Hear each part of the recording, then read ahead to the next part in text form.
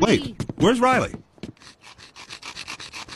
Riley, what are you doing? Nothing. Give it here. Come on.